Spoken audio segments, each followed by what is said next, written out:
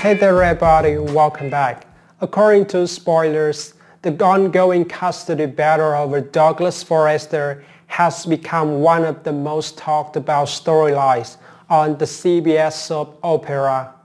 Alongside that, fans are also buzzing about the seemingly endless life and toils of Sheila Carter.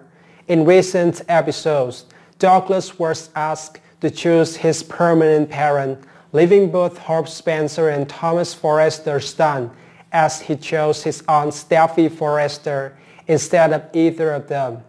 Many fans took to social media to express their frustration with the just decision, and some have called for the show to bring back Douglas' biological mother, Caroline Spencer, who was presumed dead. Author Linsey Godfrey played the role previously, and is now on Days of Our Lives. Fans have been speculating about who could potentially take on the role. Some have suggested former Days of Our Lives actress Kate Mansi and Marci Miller, both whom played the role of Abigail DiMera, as potential options.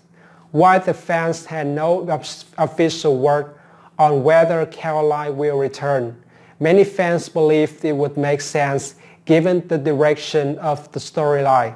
If Caroline is still alive, she will return to LA and see her son living with Steffy. She won't accept that.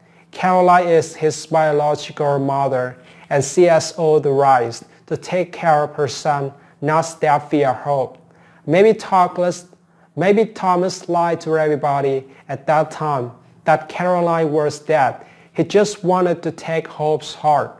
If you like this video, please hit the like button and subscribe to my channel. I appreciate all your support. That's it. Thank you so much for watching this video.